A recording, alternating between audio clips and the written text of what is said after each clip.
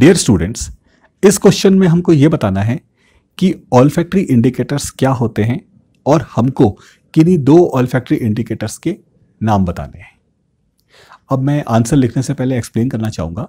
Olfactory indicators वो indicators होते हैं जो अपनी स्मेल को चेंज करके ये बताते हैं कि जिस भी सब्सटेंस के कांटेक्ट में वो आए हैं, वो एसिड है या बेस है या न्यूट्रल है।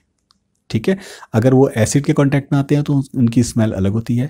बेस के कांटेक्ट में आते हैं तो उनकी स्मेल दूसरी तरह की होती है। ठीक है?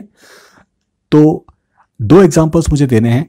तो दो एग्जांपल्स मैं देता हूँ अनियन और वनीला एक्सट्रैक्ट जब ये एसिड्स के कांटेक्ट में आते हैं तो उनकी स्मेल अपने अलग ढंग की होती है। जब बेसिस के कांटेक्ट में आते हैं तो इनकी स्मेल अलग ढंग की होती है। इसका आंसर हम इस तरह से लिखेंगे। द सब्सटेंसेस हुज स्मेल और you can say order is changed in acidic or basic media are known as olfactory indicators.